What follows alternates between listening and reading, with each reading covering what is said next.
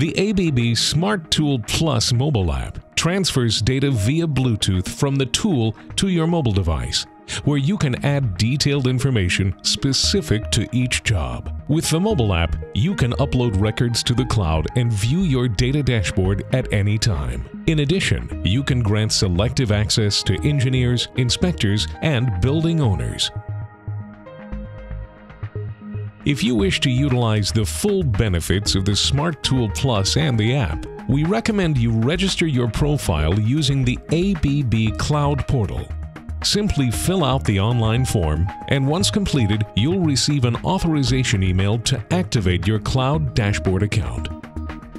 You'll be given an access code to use when signing in to your dashboard. You can work in online or offline mode within the app. We recommend working in online mode, and this video will give you a basic understanding of how the app works. Crimp data is categorized by job, which you create within the online portal. Visit our landing page, go.abb slash smarttool. Scroll down and click on the Smart Tool Plus User Portal link. Once you are signed into the Smart Tool dashboard, you can create jobs to which data can be uploaded. Manage and authorize users. You can also see crimp overviews and manage your crimp tools. You can use the app in online or offline mode. For this demonstration, we'll be in online mode. Begin by logging into the cloud with your username and access code.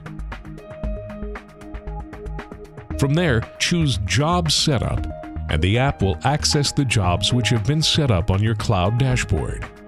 Select the appropriate job to which you wish to store your crimp data and hit Next. Now choose Tool Selection.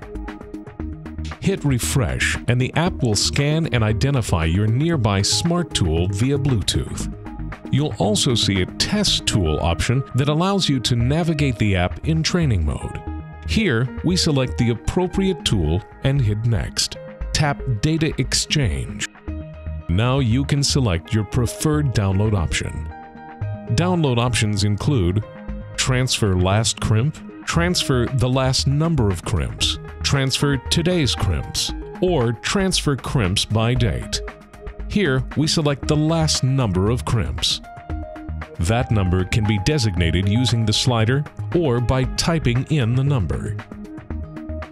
Once transferred successfully, the list of the downloaded crimps for that job will be generated. From here, you can choose the crimps that you want to edit and add detailed information, such as crimp location, and torque data. You can add notes specific to each crimp, and you can even add pictures which can be selected from your phone's photo gallery. You can use arrows or swipe gestures to scroll between crimps, viewing, adding, and saving data as you go.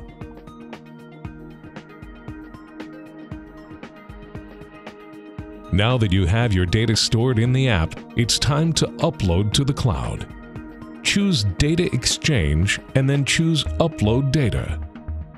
Here, you'll see your recent upload to the app. Tap it to assign it to the proper job that has already been created on the cloud. This is a double verification to confirm that your data is being transferred to the correct place. So again, choose the site and job to which crimp data will be assigned. Hit Next and Upload All. So now, all your data is stored not only in the app, but also in the cloud for you to access anytime. So quit putting pen to paper. Speed up your critical data process and increase accuracy with the Smart Tool Plus and Smart Tool Plus mobile app.